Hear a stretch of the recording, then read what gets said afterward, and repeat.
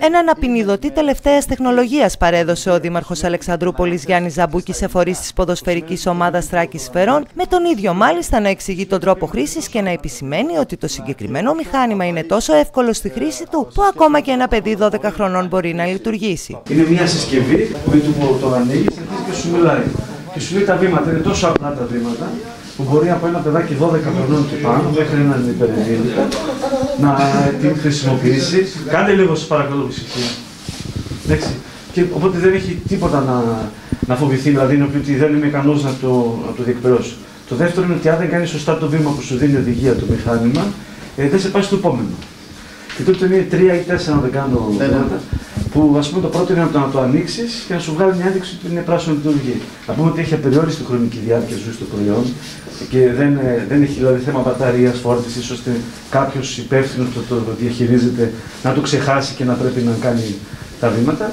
Όπως ε, επίσης ότι είναι ένα προϊόν το οποίο δεν επηρεάζει τις εξωτερικές συνθήκες. Ο Γιάννης Ζαμπούκης μίλησε για τη σημασία που έχει το συγκεκριμένο μηχάνημα να βρίσκεται σε κάθε αθλητικό σωματείο, έτσι ώστε να υπάρχει μια σπίδα προστασίας σε περίπτωση που κάποιος χρειαστεί να το χρησιμοποιήσει, αποφεύγοντας τα χειρότερα και ευχήθηκε να μην χρειαστεί ποτέ. Δεν απευθύνουμε στον καθένα ξεχωριστά, απευθύνουμε στην ομάδα που θα έχει έναν άνθρωπο που θα, χρεια... θα χρειαστεί να κληθεί ανα πάσα στιγμή να διαχειριστεί μία περίπτωση. Ουσιαστικά δίνουμε μια σπίδα ζωής σε ανθρώπους που θα τους τύχει κάτι ευνίδιο και εύχομαι να μην χρειαστεί ποτέ να παρέμβεται και να παρέμβεται με αυτόν τον τρόπο. Ο Αντιδήμαρχος Πολιτισμού, Αθλητισμού, Εθελοντισμού, Παιδείας και Νεολαίας Θεόδωρος Βουρδόλης με τη σειρά του παρουσίασε στους παρευρισκόμενους τον απεινιδωτή και την εύκολη χρήση του. Ο απεινιδωτής λειτουργεί σε άρεστη κατάσταση. Okay. Είναι έτοιμος.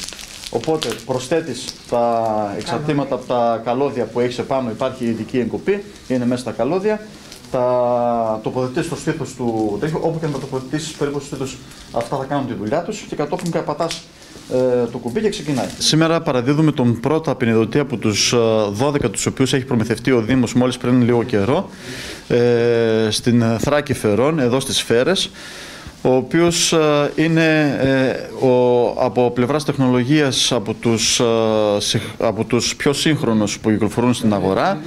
Ένα ε, ένα όργανο το οποίο αχρίαστο να είναι, αλλά δυστυχώς έχουμε δει στις μέρες μας ότι είναι πολύ βασικό να υπάρχουν αυτές, ε, ε, αυτά τα μηχανήματα στους αθλητικούς χώρους κυρίως, όπου βλέπουμε πολύ συχνά να υπάρχουν διάφορα φαινόμενα τα οποία χρειάζονται τη βοήθειά μας και αυτού του μηχανήματος. είναι πάρα πολύ απλό στη λειτουργία του. Ε, σε μια αγαστή συνεργασία που έχουμε με τα αθλητικά σωματεία και εδώ της περιοχής, ιδιαίτερα με την Θράκη Φερών, ε, κάναμε σήμερα μαζί με τον Δήμαρχο την παράδοση αυτού του απεινιδωτή, ο οποίος όπως είπα και πιο πριν ε, εύχομαι να μην βγει καν από το κουτί του, να μην χρειαστεί ποτέ δηλαδή. Παρ' όλα αυτά, εάν χρειαστεί, τη βοήθειά μα κάποιος συμπολίτης μας, θα έχουμε τη δυνατότητα να προσφέρουμε τη μεγαλύτερη δυνατή βοήθεια που μπορούμε να προσφέρουμε με έναν τέτοιο απεινιδωτή. Ο Απόστολος Φουτζητζή, προπονητής της Θράκης Φερών και ο Αντιδήμαρχος Φερών και Πρωτογενούς τομέα Δημήτρης Κολιώνη ευχαρίστησαν με τη σειρά τους τον Δήμαρχο Αλεξανδρου Πόλεως για αυτή τους την ενέργεια, με την ευχή το μηχάνημα να παραμείνει στο κουτί. Παραλάβουμε σήμερα τον αποδεινωτή από τον κύριο Δήμαρχο, τον κύριο Βουρδόλη. Ε, από την πλευρά μου να ευχαριστήσω πάρα πολύ και να ευχηθώ και εγώ να παραμείνει μέσα στο κουτί. Παρουσία του Δημάρχου και του Αντιδημάρχου Αθλητισμού και Πολιτισμού παραδώσαμε σήμερα στο ιστορικό σωματείο της πόλης μας στη Θράκη Φερών τον πρώτο από τους 12 απειδονωτέ που πήρε ο Δήμος Αλεξανδρούπολης. Ήταν μια ξεχωριστή στιγμή.